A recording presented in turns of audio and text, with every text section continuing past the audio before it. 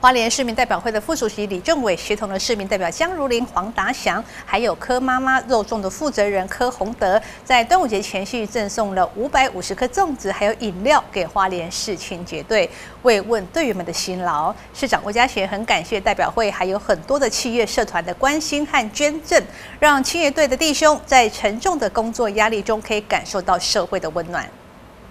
一箱箱热腾腾、刚蒸好的粽子送到了花莲市清洁队部，还有清凉的运动饮料可以消暑解渴。这是花莲市民代表李政伟、江如林、黄达祥，还有柯妈妈肉粽负责人柯洪德的爱心，希望在紧张的疫情压力之下，可以给清洁队员们更多的鼓励与支持。防疫期间哦，那我们花莲市公所清洁队哈，相当努力的来呃替我们市民在街道跟或是。呃，住家附近社区当中来做呃消毒的动作哈，那相当的辛苦。那在代表会的部分呢，都会来呃持续的关心我们清洁队呃所有的队员。那也期盼在这个过程当中，在抗疫期间的过程当中，哦我们市民呢能严遵守我们防疫的一些相关的规定。那除了是保护自己以外，也是保护我们的家人。子午县文教慈善协会哈。那每一年都在这个时候包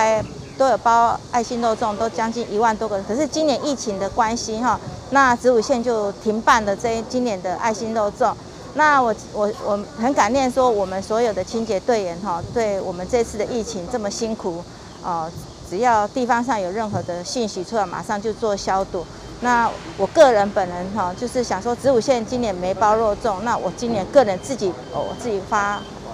去买了一些肉粽来慰问我们这些辛苦的清洁队员。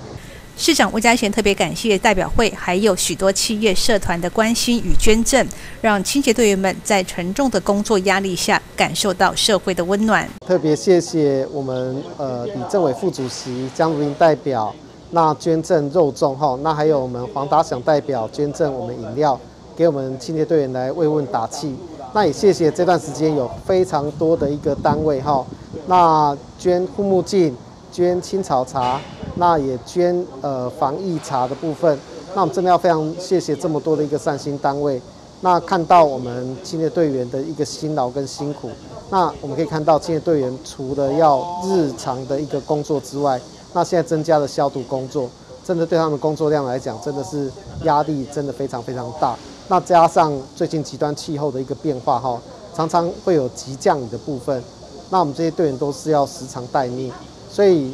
特别要呼吁所有的民众哈，出门的时候请务必一定丢垃圾，务必要戴口罩。那出门的时候也一定要戴口罩。端午节假期到来，市长魏家璇还有多位的代表们也呼吁乡亲，大家不要跨区移动，宅在家里就是对自己和家人最大的关怀。